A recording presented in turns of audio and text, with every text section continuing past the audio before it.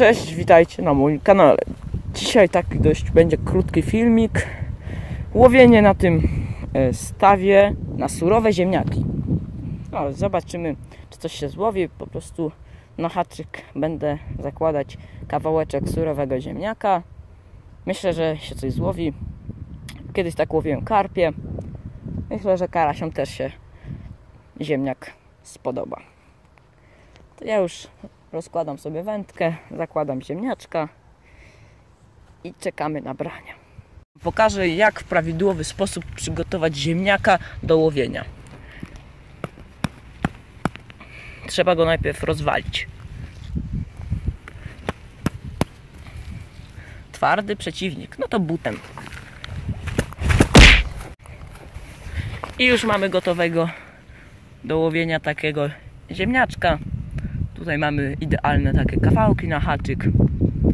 Świetna przynęta. Zobaczymy, czy tak samo będą ją lubić karasie. No to ja już wędkę sobie zarzuciłem na ziemniaczka. Tam o. O widać. I sobie właśnie czekam teraz na e, branie. W taki ładny słoneczny dzień, już chlebkiem zanęcone. Zobaczymy, co się złowi. Mam e, takiego e, karasia na, e, na ziemniaczka. Fajny karasek. Zobaczymy, co dalej. Serio, dość szybko wziął, mocno walczył. Piękna rybka. Mam karasia na ziemniaczka. W ogóle jak one walczą. Takie są malutkie, a bardzo walczą to ja już ją wypuszczam.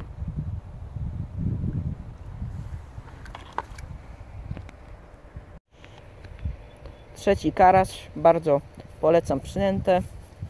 Świetna przynęta, ziemniak. Mam takiego y, karasia. O takiego pięknego karaska na ziemniaczka. Super przynęta. Jak nie ma się żadnej przynęty, nawet czosnku, ale ma się ziemniaki, to nadal warto się wybrać na ryby. Kolejny, kolejny, ka.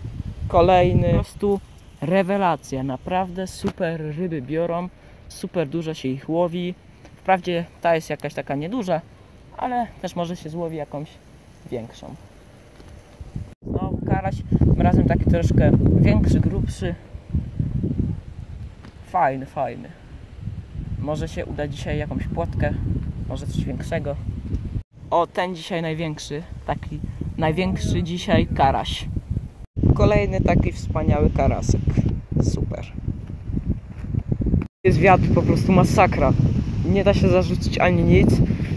Nic w ogóle prawie nie biorą, ale już po chyba godzinie albo dwóch dopiero pierwszy w tym wietrze karaś. W tym wietrze po prostu nic, nic nie idzie złowić. Dobra, i to by było na tyle w dzisiejszym odcinku. Połowiliśmy na ziemniaki, coś tam złowiliśmy. Super przynęta. No to cześć.